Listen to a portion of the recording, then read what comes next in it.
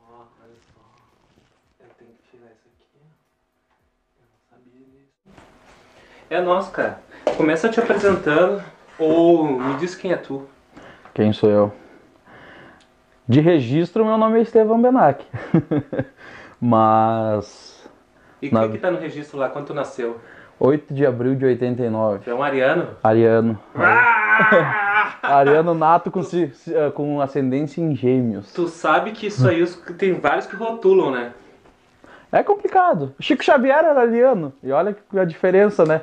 Entre o Renato Russo e o Cazuza, que era ariano, pro Chico Xavier. É. Então não tem muito como rotular, mas eu sou bem o que dizem sobre o ariano. Ainda mais que eu tenho ascendente em gêmeos, é o demônio com ascendente satanás, assim, mais ou menos. Pode crer. Me fala um pouco sobre a tua infância, cara, que a galera que não te conhece. Cara, a minha infância, bom, foi regada aquela dos anos 90 com a liberdade que o cara tinha de brincar na rua, de ficar até tarde nas férias brincando, andando de bicicleta, jogando futebol. Mas muito cedo eu tive muito contato com literatura. No ensino fundamental já foi me dado Kafka para ler, foi me dado Oscar Wilde para ler. É. E junto com isso, meu pai era muito roqueiro. Então eu cresci escutando Bob Dylan, Paul Simon Garfunkel, Neil Young, uh, Led Zeppelin, Legião Urbana, que é a, que é a minha banda favorita, né, The Crumbers, né. Então a minha infância foi regada assim a literatura, a brincadeira, a liberdade que tinha e a música. Né? E eu sempre tive uma certeza que eu ia ter uma banda. Era uma coisa que eu sabia que lá na frente ia acontecer. Quantos anos? Sete anos eu comecei a tocar violão. Assim, fiz uma aula de violão numa igreja lá, não voltei mais, mas em uma semana já saí tocando Eu Sei da Legião Urbana. Né? E aí, desde então eu não parei. E sete anos depois, com 14, que eu formei a minha primeira banda, assim, digamos assim, né? Teve alguns ensaios, assim. Mas foi que a primeira banda, que foi a Vírus HC, no, no Guianuba, que eu formei com, com os meus amigos, né? Que ela foi o embrião da banda que seria até então a banda que, por enquanto, é a banda da minha vida, que durou 10 anos, que foi a Dorian, né? E aí, relembrando a infância, retrato de Dorian Gray, do Oscar Wi- Wilde, né? Batizei a banda com esse nome. Com muita influência de Dead Fish, Dance of Days, que era o que tinha explodiu ali nos anos de 2005, 2006, onde, quando a gente escutava muito esse tipo de som, né? Mas com a- toda a influência que eu tive da minha infância, de Bob Dylan, de The Smiths, muito assim nas minhas letras, Legião Urbana, só que eu queria transformar toda essa minha influência no, no hardcore que eu ouvia. Então eu absorvia as coisas de uma maneira mais calma e eu expressava elas de uma maneira mais agressiva, né? Que outra banda que também me ajudou muito na minha formação musical foi Nirvana, sabe? Aquela coisa simples, tipo, ah, eu poderia ter feito isso, eu poderia ter composto Polly, por exemplo, poderia ter feito os riffs de Comes War, e só que ninguém fez, o cara foi lá e fez. Então, o simples, porém sofisticado, né? E eu quis expressar isso dessa maneira, e isso durou 10 anos da minha vida, né? Com todos os altos e baixos que o underground dentro de Sapucaia do Sul. A primeira vez que a gente foi tocar em Canoas, no Wave Music Hall, para nós foi uma vitória, que a gente conseguiu sair de dentro de Sapucaia. Quando abriu o, o New Music House em Sapucaia, a gente foi convidado a tocar na segunda noite, que a primeira noite foi de abertura, e na segunda noite já convidaram a, a Vírus HC para tocar. E aí logo depois a, a banda acabou e aí virou Dorian e a gente foi convidado para tocar ali de novo. E aí foi tocando, seguindo os pubs em Porto Alegre, foi tocando em, em Canoas também, só que daí era no College Music Rock lá, na, naquele festival. E a gente foi tocando por muito lugar. A gente tocava no Tomada Rock em Esteio, que é o, o antecessor do, do Rock na Praça. Só que de tudo isso, que ficou mais foi aquela persistência. Era muito difícil. Não ficou nada na web? Nada de músicas gravadas? Cara, deve ter alguma coisa assim dessa época ainda. Deve ter algum canal perdido no YouTube que era Dorian com I só. Depois a gente descobriu que tinha uma banda na Argentina com esse nome e botou Dorian com dois Is. Que era pra continuar o mesmo jeito de falar, só mudar o nome pra não ter problema, né? E deve ter alguma coisa. A gente tocando Coelho e Limão, a gente tocava muito Coelho e Limão, tocava Dead Fish, Dance of Days, então, nossa, nem se fala. E tocava as músicas próprias. E o que, que Né? tu acha que mudou daquela época? Porque 10 anos é tempo, hein? Mudou o quê? A Sim, mudou. A maturidade. Pra Ma- ti, mas pra, pra toda Ah, na essa- cena? É. Cara, hoje a galera eu vejo ela muito mais inteligente para algumas coisas. pelo menos os amigos que me rodeiam, que são daquela época, eu vejo eles com a mesma gana de contestar, de ir contra um sistema, de ir contra um padrão, só que de uma forma muito mais inteligente. Que vem de encontro à maturidade, né? Todo mundo amadureceu uh, nesse quesito. Né? Então a gente contesta hoje de forma mais eficaz e menos agressiva. Hum. Né? Mas dentro do, do, da cena musical, assim, algumas coisas ficaram muito mais fáceis. Porque o que a gente tinha antes de acesso era uma página, no, uma comunidade no Orkut que era que tinha das bandas. Era o único jeito de tu mostrar, não tinha como tu botar som ali. Né? O que tu fazia era tu gravava um, um, um ao vivo num estúdio de baixa qualidade, copiava e entregava para teus amigos, tentava vender, fazer alguma coisa assim. Né? Era muito raro uma banda que tu via assim, ah, gravou por canal, assim, algumas bandas dentro do, do nosso ciclo ali, tinha algumas bandas que já eram mais velhas do que nós e conseguiram fazer isso, né? Porém, isso era muito difícil. E hoje a facilidade está muito maior. Eu tenho música no Spotify, como Dorian, em versão folk. Né? Quando... Você continuou com agora sem a banda, mas continuou fazendo teu som. Sim, depois que a Dorian acabou, que foi quando a gente produziu uma música com o Duda Calvi, que a gente achou que a coisa bah, realmente ia acontecer. Meses depois a banda acabou por divergência interna, porque 10 anos já estava desgastado, já tinha muitas outras coisas, né? E aí a banda acabou, a amizade continuou, enfim, tudo. E aí eu resolvi levar a música, porque a música, como eu falei, desde pequeno ela me acompanhou. E se eu fico muito tempo sem estar tá num projeto musical, sem eu estar tá tocando, me falta alguma coisa. Sabe? Pode a vida estar tá toda perfeita, mas sem a música eu não funciono. E aí eu continuei levando, passei todas as minhas músicas que de primeira hora eu compunho no violão, no violão Aí passei para o formato hardcore, eu retornei elas ao formato de violão no estilo folk. Bob Dylan, Neil Young, todas as minhas influências. Continuando as letras também. As letras, sim.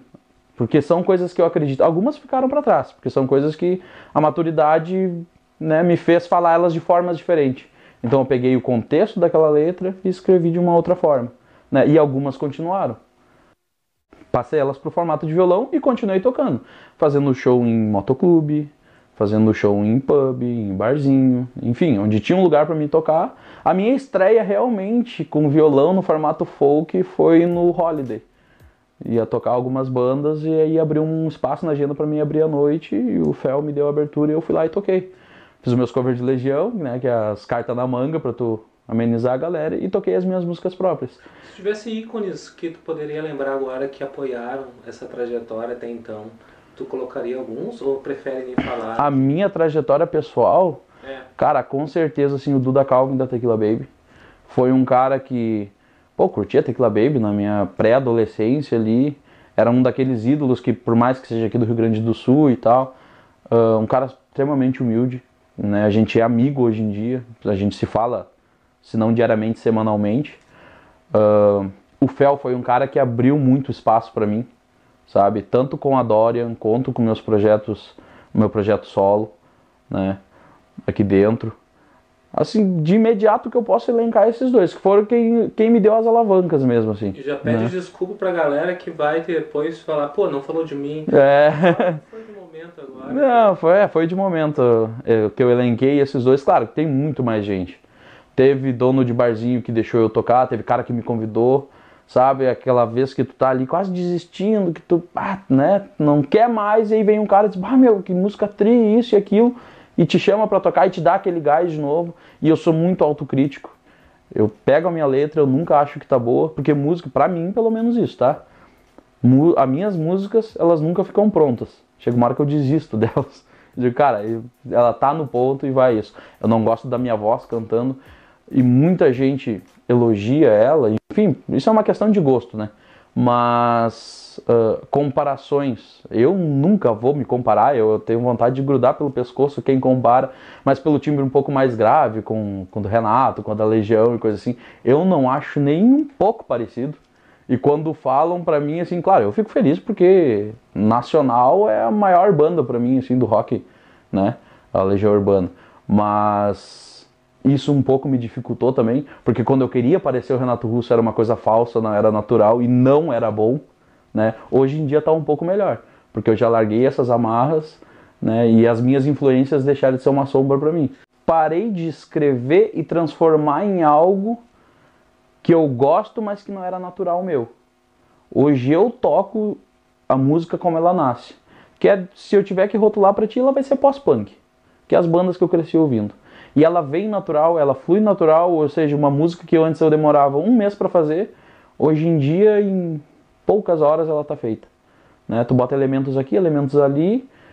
Uh, eu dou muita importância para a letra. Para mim, a música é a letra e a, e a composição harmônica que tem em torno dela tem que ser agradável, tem que transmitir aquilo que tu está falando. Mas o principal da música para mim é a letra. Se não tiver um, uma mensagem, se não tiver um alvo, a música para mim ela não é música, ela é entretenimento.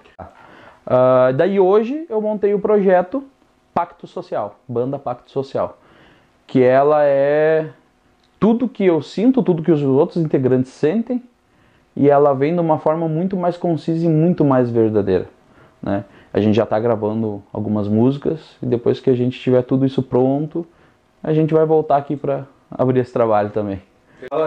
Divulga teus parceiros, como é que é lá? Cara, há dois anos atrás eu entrei em parceria, eu tinha terminado meu curso de barbearia e tal, já tinha trampado em alguns lugares.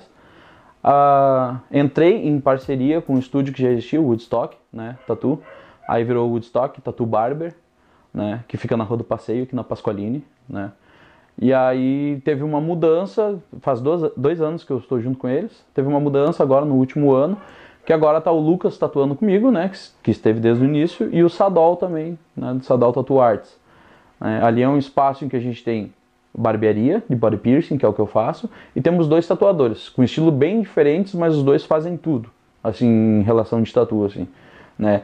E o principal foco da gente ali dentro é atender o público uh, realmente de Sapucaia, não é atender aquela elite, sabe? Os nossos preços são super acessíveis, assim, pra galera. Então, bah, o cara quer fazer uma tatu que seja gigante nas costas, uma coisa assim que tu vê, olha lá, é uma coisa inimaginável o preço, ali o cara faz com a mesma qualidade de um, de um estúdio de centro, que a gente diz, ou de capital, né? porém mais acessível. O piercing é a mesma coisa, a barbearia é a mesma coisa. Os meus preços chegam a ser absurdo de tão barato, né? Oh, não fala isso, daqui a 10 anos vai estar tá na, na web. Não, mas é, tá, vai tá barato mesmo, eu estou muito abaixo dos outros, mas é porque eu tenho fornecedores bons, eu tenho, eu tenho como manter isso dessa maneira e atender uma galera que eu sei que vai fazer falta às vezes de repente, entendeu? Legal. E sobre o projeto, cara, que me interessou quando tu falou. Sim, eu tenho um projeto cultural em Sapucaia do Sul que se chama Todos Unidos por uma Sapucaia do Sul Melhor. Esse projeto é para provar que a gente não precisa de dinheiro para ter cultura numa cidade. A gente, através só do voluntariado, eu já tenho uma biblioteca comunitária, que a pessoa pode ir lá trocar um livro, pegar um livro, enfim. Uh, perto da data do, do Enem, eu vou dar dois meses de curso intensivo pré-vestibular, né, com os professores de cursinho mesmo, é a mesma estrutura, é a mesma qualidade de um cursinho pré-vestibular pago, porém de graça para estudante de escola pública. Aí vai ter alfabetização para adulto, vai ter oficina verde que vai ensinar a galera a fazer compostagem, reciclagem, essas paradas assim, e vai ter capacitação profissional. Então, dentro das feiras e dos eventos que a gente vai fazer, ah, a galera vai lá, vai ter uma profissional de RH fazendo o currículo, né, padrão, um currículo bom, e no final vai ter uma palestra explicando como se comportar para uma entrevista de emprego, né, se preocupando realmente assim com a cultura e com a educação. Né, e fora isso vai ter oficina de esporte, oficina de barbearia, já consegui uns parceiros. Não, assim, então, tudo já está na internet, porque hoje em dia a internet é a ferramenta mais ampla que tem, né? Porque eu postei que eu precisava de livros para abrir uma biblioteca comunitária. Em uma semana eu já tinha mais de 100 livros. Então, assim, ó, o projeto esse projeto cultural que eu, que eu idealizei, qual é a principal função dele? Cara, tu sabe fazer vídeo, tu tem o teu trampo aqui, tu quer ensinar alguém a fazer isso. Uhum. Aí tu vai lá, tu vai dar uma oficina de graça para aquela galera. Uhum. Entendeu? E aí muitas vezes aí tu vai tirar um, um adolescente da ociosidade, sabe? Vai tirar ele de um outro caminho. Vai ensinar um cara que de repente, pô, é formado em química, em astrofísica e está desempregado a fome tá batendo na porta, mas o cara tem uma câmera em casa, tu ensinou o cara, o cara vai fazer uma coisa, pô, vai ganhar um dinheiro, vai devolver a dignidade pro cara. Uhum. Né? E as outras bases de, de cultura, tipo, pá, pegar uma pessoa adulta que não sabe ler nem escrever direito, tu dá uma, uma aula para ela, ela conseguir escrever o próprio nome, cara, isso é muito mais do que ela sonhando de repente para a vida toda, isso devolve a dignidade da pessoa. sabe? E ajudar e para isso não precisa de dinheiro nenhum. Não precisa de investimento, não precisa de patrocínio, não precisa de nada, precisa da boa vontade. Sim, cara, a cooperação é fundamental para tudo e a união. Enquanto todo mundo não perceber que é só junto que a gente consegue fazer alguma coisa, sabe? Em, que é cooperando, que é, que é se unindo realmente, a coisa não vai andar, sabe? Se eu tenho uma banda e eu posto meu vídeo e a galera vai lá curtir, bah, no, olha no YouTube, olha no Facebook, bah, é legal isso, mas o cara não for lá e não dá o clicar no gostei, não compartilhar o vídeo, meu trabalho está quase sendo em vão, porque eu atingi só ele. Enquanto ele replica isso para mim, ele está me ajudando. Entendeu? E isso serve para tudo, sabe? Então, assim, que nem eu citei o exemplo, tu, tu, tu trampa com isso, tu vai lá, tu ensina alguém, tu, tu consegue mudar uma vida de repente, né? E assim, isso, cara, pega em todos os fatores, em todos os fatores. Eu sendo profissional autônomo, eu sei o quanto a cooperação é válida para tudo, né? Porque sozinho o cara não consegue. Só que aí pegando num, numa outra esfera, numa esfera mais, digamos assim, espiritual e coisa assim, a gente está fadado ao sucesso e a gente está fadado à luz, digamos assim. A gente pode dar alguns uma titubeada, mas a gente caminha para isso, né? E um dia a gente vai aprender, que é só dando as mãos e fazendo junto as coisas que a gente vai conseguir. É só por esse caminho.